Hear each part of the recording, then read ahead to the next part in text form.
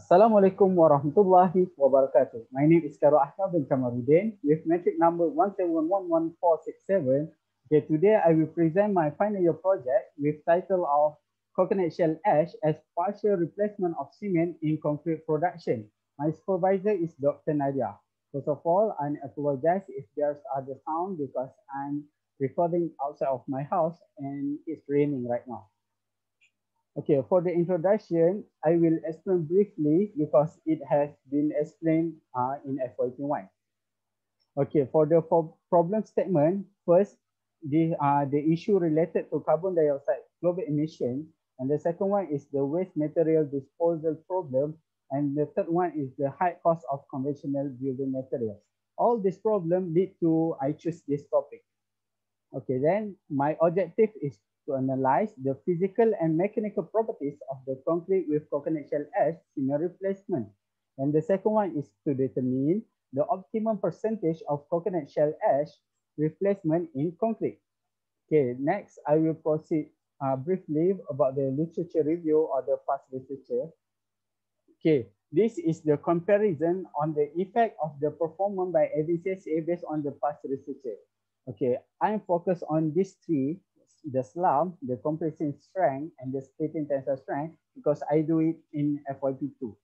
Uh, based on past research, uh, the slump will be decreased when we increase the percent replacement of CSA. Same goes to the compressive strength and splitting tensile strength because there's many factors you can see in the slide. Okay, next, the methodology. Okay, for the methodology flow, I will explain briefly about how I do it in FYP2. The first is burning and the cooling process of the coconut shell waste. I will undergo the uh, burning and the cooling process and also uh, to produce the ash and also I will go the sieving process for the aggregate. Next, I will proceed to the mixing process. I mix all the mix accordingly and carefully. Last, uh, next, I go to the test for the concrete which divided into fresh and hardened concrete test. Uh, the slump test, the compacting factor test, the compressive strength test, and the splitting tensile strength test. Then all the uh, details are measured and report and come up with one conclusion. I will compare it with the normal concrete without the CSA. Okay, for the material selection, it can be divided into five, the fine aggregate, the coarse aggregate, the water, the cement, and coconut shell ash. I will show you the value of this material after this. Okay, this is my concrete design. After I go through all the form and using the method of ODE, I, I got the, uh, the cement is 410 kg, water is 205, fine aggregate 575, and the coarse aggregate 1220.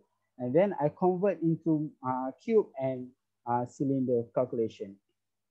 Okay, this one is the total coarse aggregate that uh, for my mixture is 126.88 kg. The fine aggregate is uh, 59.92. The cement is 39.43 kg.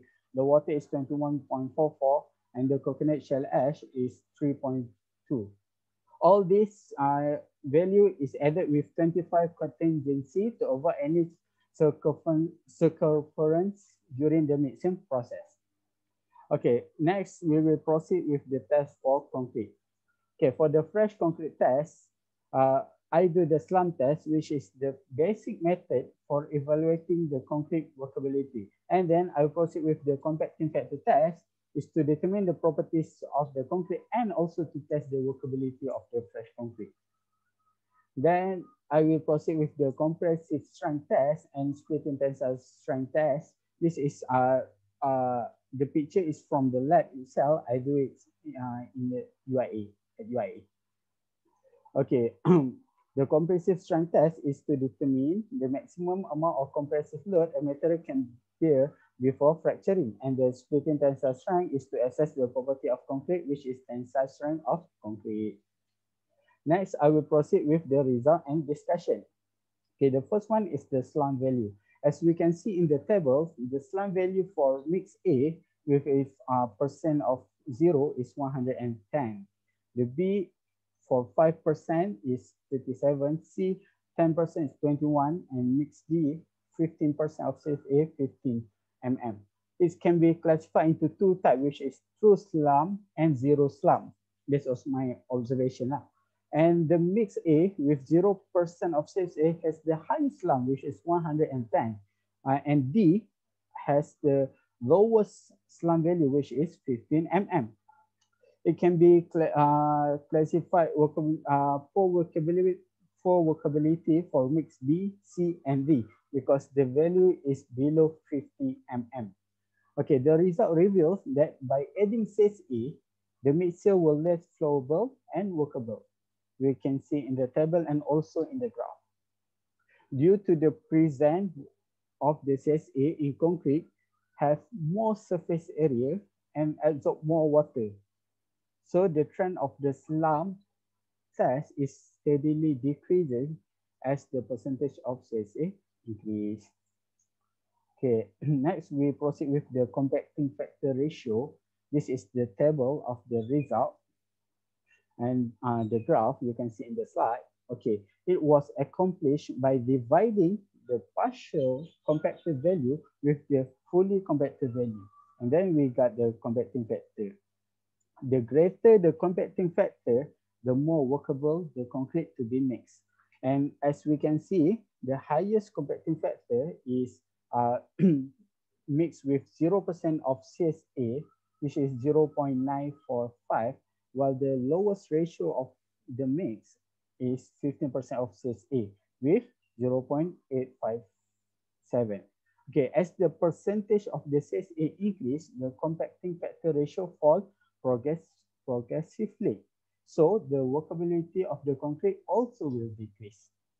Indicate that more water was absorbed during the concrete mixing and resulting in lower compacting factor value.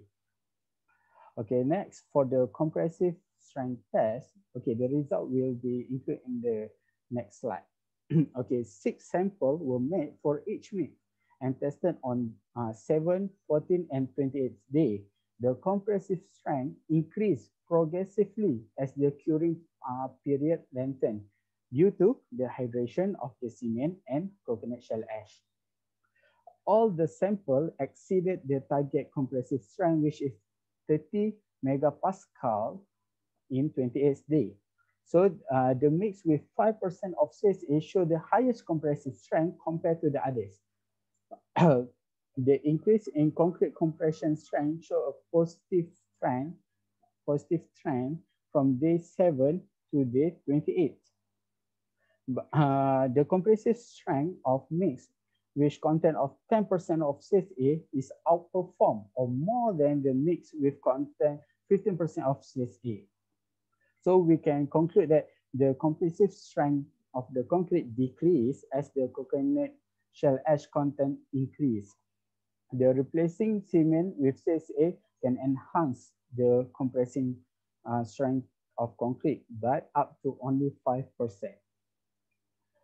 This is the table for, for the compressive uh, strength test. We can see uh, from this one is uh, is uh, decrease decrease when uh, when we increase the percentage, but it will increase the strength when we lengthen the curing time. Okay, next for the splitting tensile strength test. Okay, there's four samples of cylinder concrete were made for each mix and evaluated on day 7 and 28th day. As the curing period lengthened, the tensile strength gradually increases. During the time, the, uh, the tensile will increase due to the interaction between the CSA and the hydrated cement product produce additional CSH bond. bond. Okay, for the mix contain 5% of CSA, 5% of CSA had the highest splitting tensile strength compared to the control sample and the other percentage mix. And because of the uh, cement, this is because the cementitious property of the concrete increase, which causes to the formation of better paste matrix that strengthen the cement aggregate bond. And then as the percentage of CSA in concrete increase, the tensile strength drops.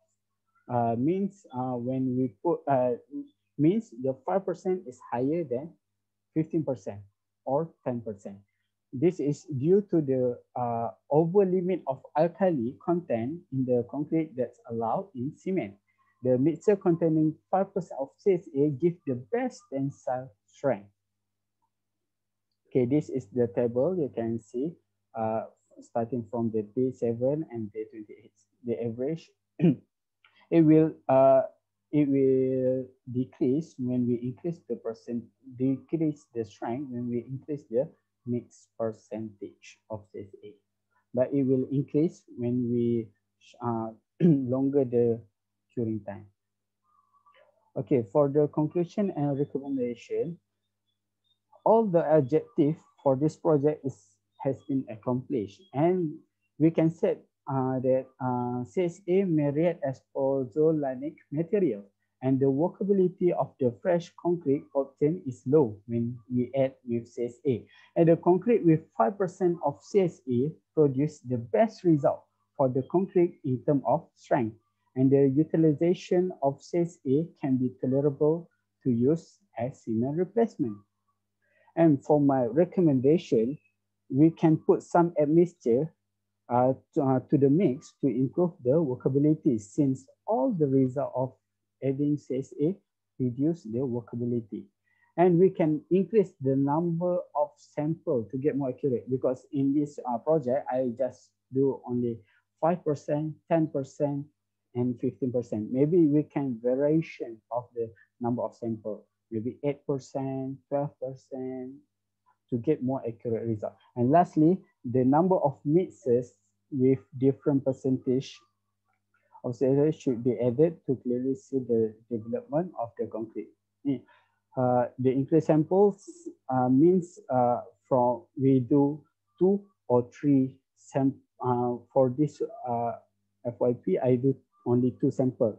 In next, because time constraint, in next project, maybe we can do three samples each.